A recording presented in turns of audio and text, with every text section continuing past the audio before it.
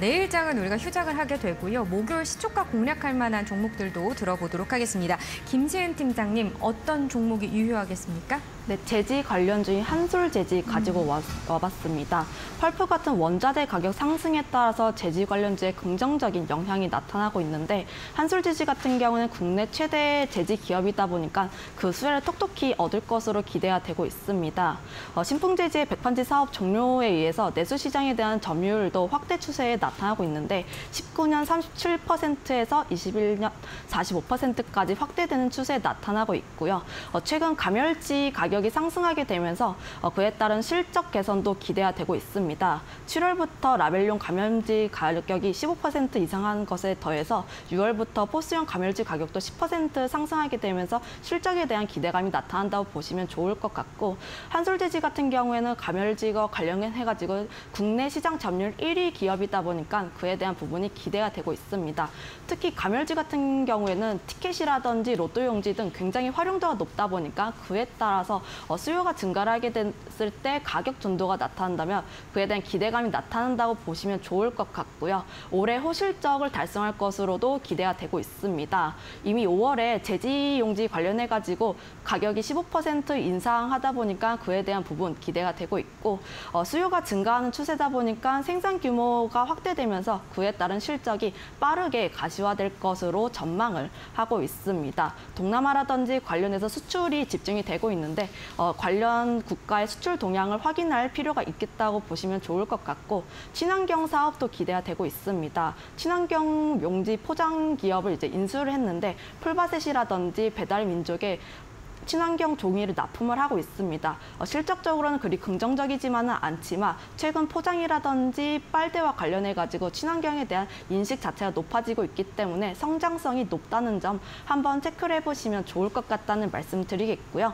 전 세계적으로 원자재 가격 상승에 대한 부분이 기대가 되다 보니까 어, 매수가는 시초가에 접근을 하시면 좋을 것 같고 목표가는 17,000원을 제시를 하는데 이전에도 가격적인 메리트가 부각되기 이전에도 그 가격 이상까지 상승을 했다 보니까 상방 가능성이 크게 열려 있습니다. 어, 시간을 충분히 드린다면 17,000원까지 도달할 것으로 전망을 하고 있고 실적 베이스의 우상향이 크 기대가 되고 있기 때문에 어, 단기적인 조정이 나타날 수가 있지만 가격적으로 여유를 주기 위해서 손절가는 12,700원을 제시하겠습니다. 네, 한솔 재질을 꼽아 주셨습니다. 테마성으로 좀 2%대 오늘 상승력 가져갔고요. 14,500원의 종가를 형성했는데 호실적에 따라올 수 있다. 이런 부분도 좀 체크하시길 바라겠고 어떠한 테마성 종목이는 마찬가지긴 합니다만 역시나 이 업체별 펄프 가격 수의 정도가 또 달라질 수 있기 때문에 이런 부분도 옥석 가리기도 같이 해보시길 바라겠습니다. 자, 두 번째 종목도 알아보겠습니다. 박정식 대표님. 네, 테마와 수급적으로 접근해 볼 수 있는 서암 기계 공업을 한번 보도록 하겠습니다. 화천그룹 계열의 공작기계 핵심 부품을 만드는 기업인데요. 각종 기어류와 그리고 척 실린더, 커비 커플링 등을 제조하는 업체입니다.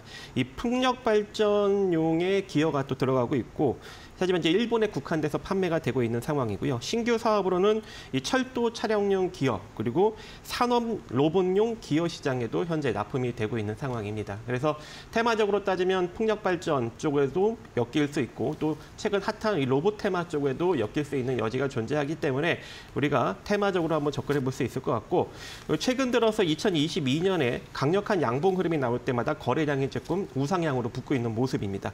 그렇기 때문에 앞으로 추가적인 상승력이 충분히 나타날 수 있다라고 볼 수 있을 것 같고 혹여 지금 가격이 무너지면서 내려간다 하더라도 5,900원 정도 라인에서는 일정 부분 다시금 어, 지지받고 재상승이 나타날 수 있습니다. 그래서 어, 가격 전략을 오늘 조금 수정해 드릴 건 같은 아, 수정해 드릴 건데요.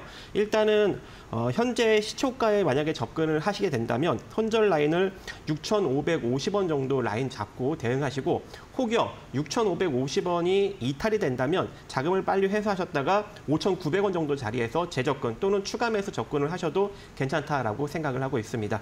이 상태로 상승력이 나타난다면 한 7,500원 정도 자리까지 바라보시기 바라겠습니다. 네, 세분화해서 전략을 또 세워주셨습니다. 서암 기계공업이고요. 어, 시초가로 공략을 했다고 하면 손절날 6,550원으로 일단 잡아보시길 바라겠고요. 목표가 7,500원으로 드려보도록 하겠습니다. 오늘 말씀 여기까지 듣겠습니다. 고맙습니다.